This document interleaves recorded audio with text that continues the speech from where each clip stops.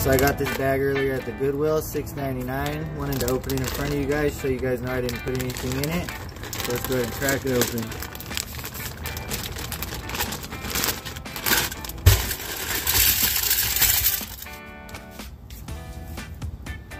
Alright guys, so we got a few minutes. Let's check out as many of these as we can. Scored these at the Goodwill. If you saw the video earlier, here's the bag. Check that out. That's the Dodge Charger from the Fast and the Furious. I'm not even sure where that's from or who it's made by, but that's pretty cool.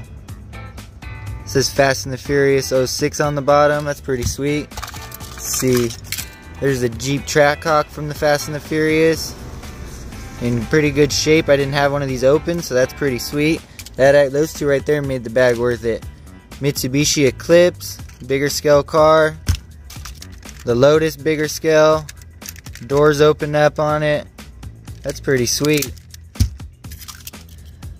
Not sure what that is, but just a non-brand, no name. Here's one of the Matchbox Super Fast. This is why I bought the bag. I collect these. These are really cool. This one is from 1977. It's the ambulance. That is sweet. Pretty beat up. I'll give most of these to the kids. I just got this bag for a couple of the cars. Some pretty cool stuff though. It's a Hot Wheel. Pretty cool. Unimog Hot Wheel. Had quite a few Hot Wheels actually in it. look at that. Bigger scale police car.